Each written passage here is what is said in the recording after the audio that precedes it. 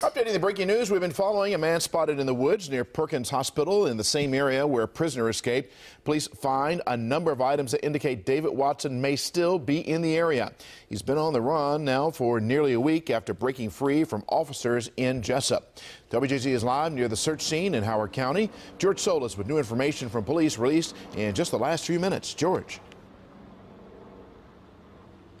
That's right, Vic. Moments ago, Howard County Police releasing some new information about this ongoing search effort for 28-year-old David Watson. They said that a caller earlier today did report seeing a man in a white hat and a safety vest. Now, police learned that those items were likely stolen. They say after questioning some people in the area, they did rule out a number of suspects. But here's where it gets interesting. They said they did find some packing materials in a concrete drainage tunnel, as well as some footprints they believe may have belonged to Watson.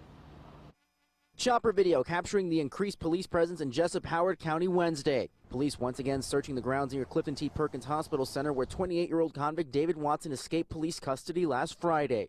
Watson has not been seen since. Wednesday, investigators working off a report of a sighting of an unknown man in the woods near the hospital setting off the manhunt once more. Some nearby anxious and hopeful this means the end of the search for a man serving more than 100 years for attempted murder. It's definitely nerve-wracking, but uh, I feel pretty safe in this area. I trust that uh, whoever's involved in finding him is doing their jobs. I hope it's him, and I hope they find him soon. I mean, if that's what's going on, you know, get it over with as quickly as possible. The U.S. Marshal Service has taken the lead on the search for Watson and upped the reward for his capture up to $10,000. Watson escaped while being transferred from Wicomico County for a mental evaluation at Perkins.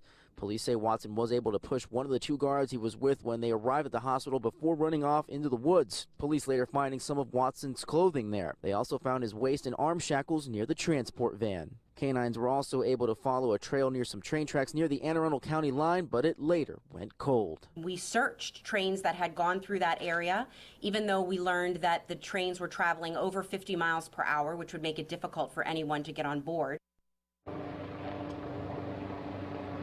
Now, some questions still left to answer is how did Watson get out of those handcuffs and whether or not he had help. It's also unclear whether or not this was a planned escape or if he acted on impulse. Now, moments from now, Howard County Police will be updating us with a press briefing. We'll bring that to you uh, with the newest information as soon as it becomes available. For now, I'm live in Jessup. George Solis, WJZ Eyewitness News.